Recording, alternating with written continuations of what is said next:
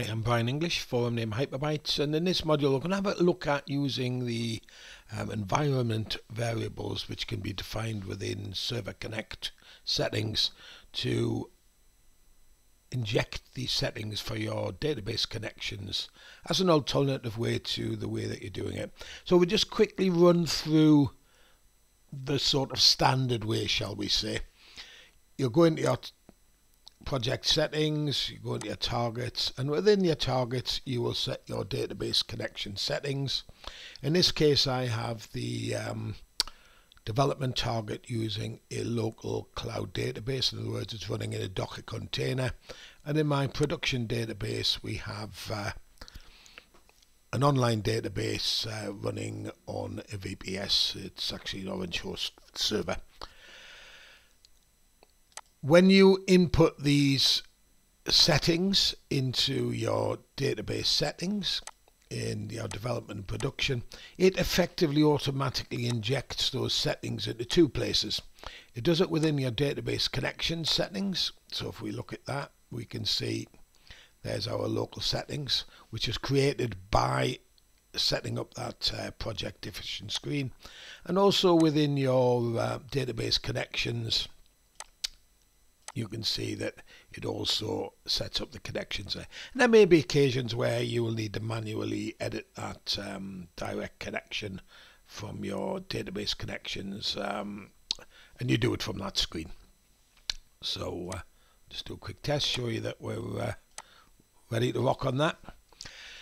What I'm going to do now is show you how to, instead of putting actual um, settings into here, the actual settings, we're going to do that by defining that within the environment variables and then placing those environment variables into the connection settings.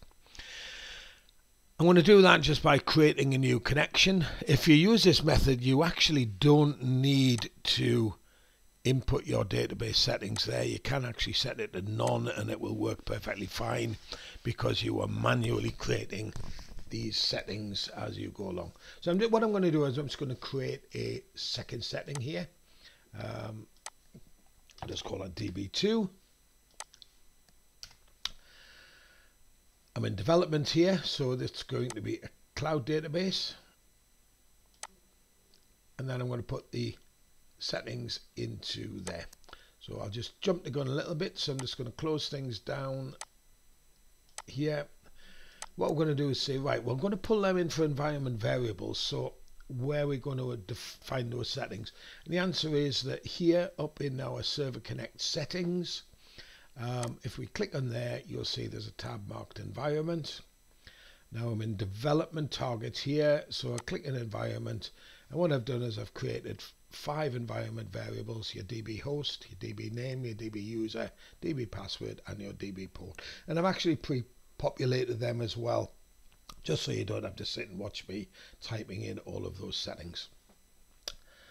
And if I switch into production, because those server connect settings are target specific, and go into environment, we can see we have a completely different set of settings there, uh, which are the ones that are required for your um, workflow globals DB settings um, for your remote server. Lastly, within globals here, we also need to just define those environment variables purely for the picker's sake. So again, I've just defined those five same environment variables within the picker. And that way we can use this now for setting up our um, connection. So I'm going to say create a second database connection. Um, I'm just going to first switch into development. We'll start on the development side. Our database connection, um, DB2. That is a cloud database. Database server is the Maria local DB local. And we it automatically pulls the settings in here for us because it knows it in the case of cloud databases. Um, but what I actually want to do is show you how to do this via the environment variables. So we're going to take those static values out, save that. I'm going to take that static value out, And I'm going to replace that with DB port.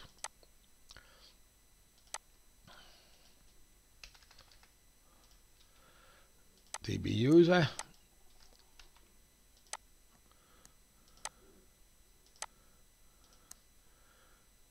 DB password.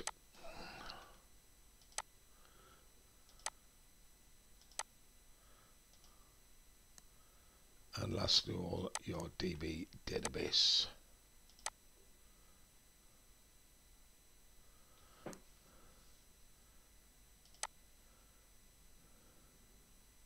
DB name that, isn't it? Sorry. So there we are. We have our settings now are all set within environment variables as opposed to our um, fixed settings. We'll pop into our production now. I'm going to ask for the settings there. I'm just going to close that. Sorry, you need to close it to be able to refresh the settings. So we decide to, to populate the uh, production with the same, but that's not the case. We actually this is going to be custom. This is going to be a D, MariaDB, but we can keep those settings the same and save.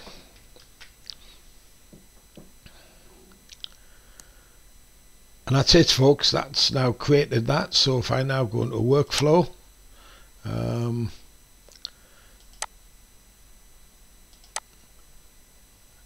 just select our development target um, click that test database query I'm going to now switch that over to DB2 and then I'm going to run that database query in the browser and there we are we see that it works absolutely fine um, in the browser. I'm now just going to do a quick deploy. Um, I'll pause that while it's so you click publish. So I'm going to publish I'm going to apply the database changes um, I'm going to hit publish and then i will just stick it on pause while this is happening okay and that's our uh, publish done I'm not quite sure why we got that error there um, probably because I'm double publishing that. I probably shouldn't have uh, used that apply database changes at this stage. Um, so right, so now we should be able to just pop into our production server now using a DB2 setting and click on that. And there we are. Finally, we get the uh, response from the server. Um, that's my internet connection, which is running a bit like a dog at the minute. Um, so there we are. That's how we uh, set up our database connection settings via our environment variables. Uh, fairly straightforward. Just going to have a quick look at our database manager settings. Um, if I go into development, as we discussed earlier, we can edit those database connection settings but you'll notice there are no dynamic settings in there so we can't pull that from the environment variables um, a little confused as to what the teams told me. They tell me that the settings are not connection specific. But of course if we go into our production We'll see this is grayed out, and that's because it, it was a, decision made by the Wappler team that they would not allow you to edit production set database connection settings. Easy way around that, go into your project your settings and then just change your production temporarily and set it as a development platform. When you do that, you can now see your database connection goes live and you can see then that we have the um, database connection settings for direct connection from your um, database manager and again if we test that we can see obviously that works save that. So we now we can do that. We know how to edit that. Um, once we've done that, again, the, the Wappler team do say you shouldn't edit data through the database manager on the live situation. Um, but I'm just going to call up the people table in the development zone and I happen to know there are two records in there in that development zone. If I was to switch to production and view edit data you'll see there's only one record because we're actually accessing the remote server. Now I know the Wappler team say you shouldn't do that. They should recommend you use something like you know Workbench or uh, Navicat or whatever to remote edit your remote data. But just sometimes I like to be able to pop into the live data from within the Wappler environment and just make a small edit. Um, rather than having to leave Wappler, go into an alternative platform to do that data edit.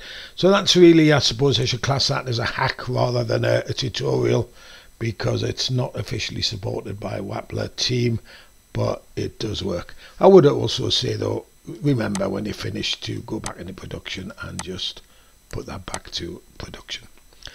So thanks for joining me and hope to uh, you will join me again soon and uh, that's all about environment variables and database collections.